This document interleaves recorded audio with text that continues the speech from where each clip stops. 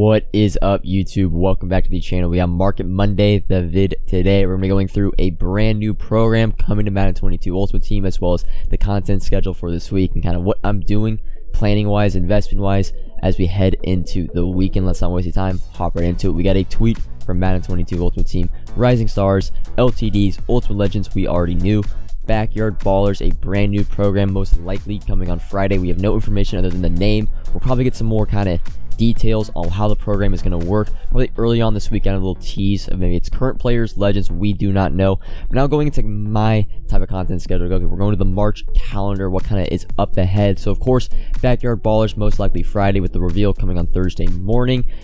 Fast forward a little bit ahead, free agency does begin, like the period begins on the 16th. I'm thinking we get the free agency promo on the 18th. Also, in the top right, you're going to notice MUT rewards and an odds boost. And the odds boost really isn't available probably till later in March, but we can get MUT rewards. We got MUT rewards the first week of February. So MUT rewards now is due at any pretty much they drop on Friday, usually in the afternoon. So we can see it this Friday, we can see the 11th. Pretty much MUT rewards is big because it just crashes the market because everybody gets packs. So keep your eye out for that. We also do get monthly weekly rewards this Thursday as well. Of course, weekly rewards this Tuesday. That's kind of your schedule. You can take a screenshot of it. What I think next about two, three weeks are going to go down content wise. But what can we do to prepare for backyard ballers? Now, I wish we got this information last Friday so we could have invested this past weekend.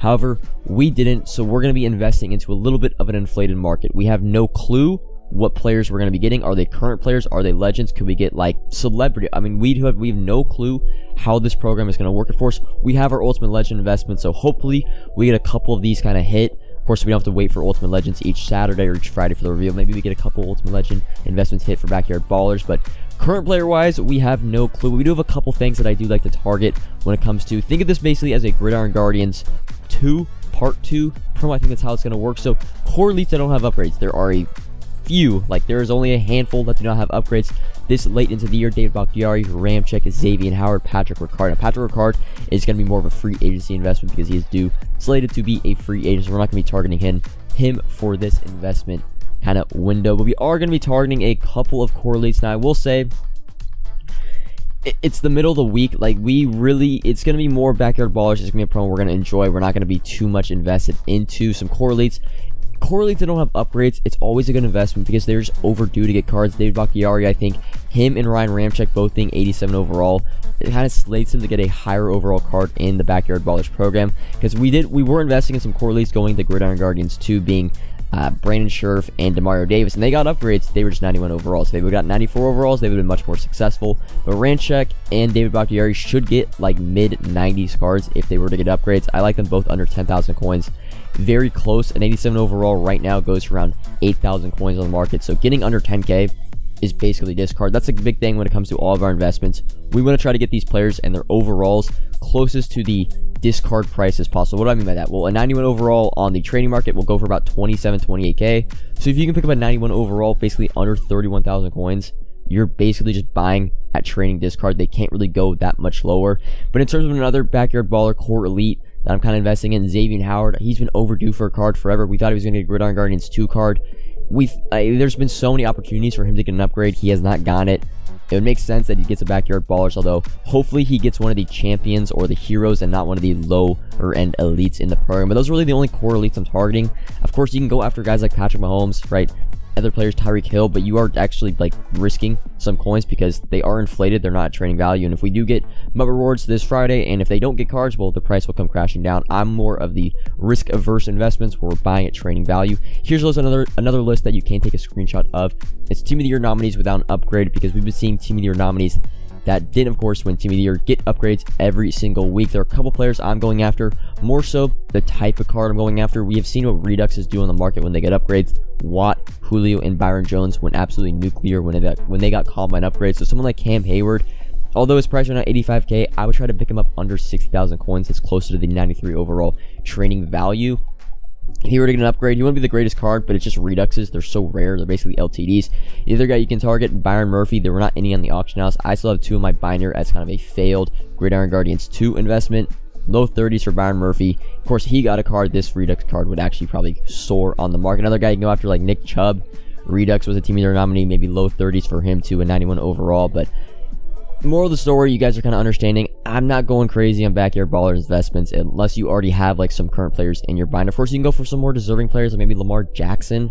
I'd say backyard, but that, that, that was the first thing that came to mind for me was like Lamar Jackson, Patrick Mahomes. One of the one of those two is probably going to get a backyard ballers card. But of course, their price is already inflated. The Redux was like 90k for Lamar Jackson, and Patrick Mahomes' core elite is like 30k already. So you can take that risk, right? You can take that risk, but I'm just I'm telling you right now, I'm not gonna be going crazy. I'm kind of trying to get every single card that I invest in at training value per overall. Training wise, though, you can pick up some 95s. I think some 95s at 90k is solid. If you actually take a look back at the two Fridays, how training reacted, we go back to the 25th. Training went from about 3.5 per, and it went up. Right, it went back up to like four but it took a little bit for the Combine promo. You could have got training still early Friday at very, very cheap. However, for the Gridiron Guardians 2 reroll, it went from 3.4, 3.5, and it spiked up to 4 literally an hour probably after the promo get got released because people realized those rerolls were pretty good. We most likely will get backyard, backyard baller rerolls and training. We'll see a little bit spike from Friday morning to Friday afternoon. So if you pick up some training before Wildcard Wednesday, 90k for 95 is kind of my target range. It's like 3.4, 3.5 training per or under. I always like investing in some training. But now, hopping, because that was kind of, you know, audible, off schedule. We got, I mean, I'm excited, man. New content is always just dope in the game. Backyard Ballers, we have no clue what the promo is going to be. I'm excited for it. But hopping now back into our, let's say, regular scheduled programming for Market Monday. So last week, our huge investment was buying 85s, buying 83s and 84s. 85s under 5k, 83 84s under 2,000 coins. And while we got the best case scenario, we got Michael Vick Ultimate Legend being a set card. So our 85 investments, our 83 and 84 investments, pretty much perfect. Like perfect. We were buying for pretty much 85s. You could have bought for under 4.5 for 4.5k per. They were going for 8,000 coins on Saturday, and you were able to just build Michael. I was building Michael Vick sets during the week for 375k and well, I was selling Vick for 650k, making possibly like 250k per set. I did like eight times, so like two 2.5 mil made off Michael Vick alone. I know a lot of people benefited greatly from Michael Vick being a set guy, but we have to understand we have to go into this week with tempered expectations. We are not going to be getting Michael Vick is I think the best possible scenario for us for in terms of our 85 investments because he is probably the most popular player in Madden Ultimate Team history.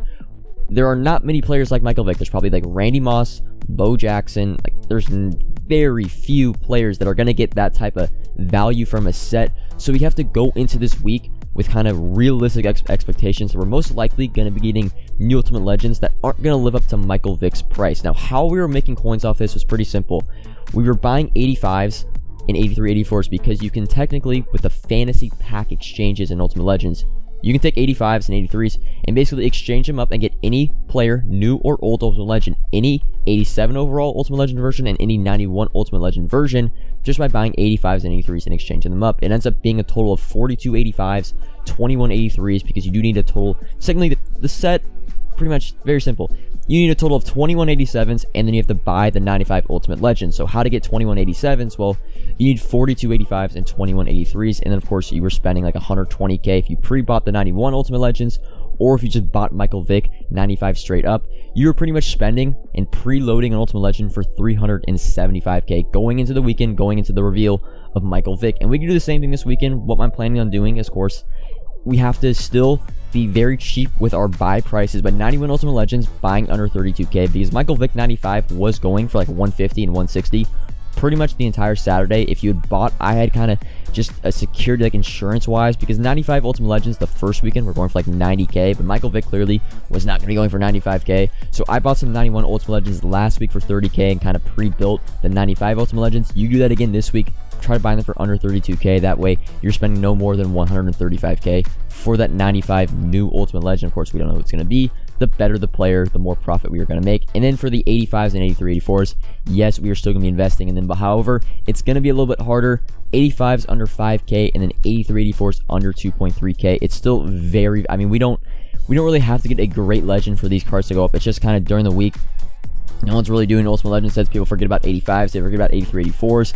And well, you can scoop them up. And again, buy as many as you want. Of course, temper your expectations. We're not going to get Michael Vick. Probably best case scenario but now is probably maybe a Randy Moss or Bo Jackson Ultimate Legend. However, I doubt we're going to get that in back-to-back weeks. So temper your expectations, but still 85s under 5K, 84, 83s under 2.3K is just a very, there are so many uses for 85s. Again, We technically didn't have to do the Michael Vick set to make profit. We could have lazy sold our 85s that we bought for under 5k. We could have sold them off individually for 8,000 coins. We could have just done 87 overall sets, sold the 87 overalls on the market because they went for 20,000 coins when we were building the sets for 12k, of course, 5k, 5k plus 2k, 12k. We were building 87s for 12k. They were going for 20k on Saturday. There's just so many uses for 85s and 83, 84s that it's just such a safe investment.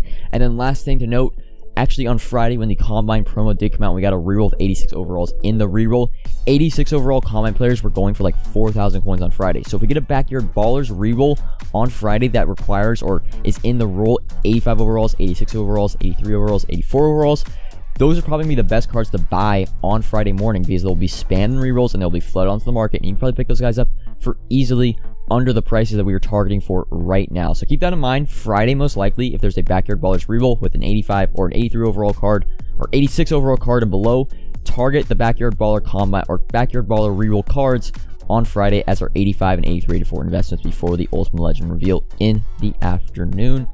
But that is all for this video. A lot of information, Backyard Ballers. Unfortunately, we can't really invest. We don't want to ever buy into an inflated market, and that's kind of what the market is right now during the week. Staleflation. Market's a little up, so we don't want to go crazy on backyard ballers investment. More so, I'd say target our 85s, target our 83, 84s, and let's just hope Backyard Ballers is a really cool program and we get cool Ultimate Legends this weekend. But that is all for my video today. It's the only video going to be uploaded today. Stream schedule, again, don't stream Monday, Tuesday, Wednesday. We stream Thursday through Sunday. Videos, of course, still every day. But that is all for this video. Comment if you have any questions. Like if you enjoyed. Subscribe if you are new. And until next time, peace.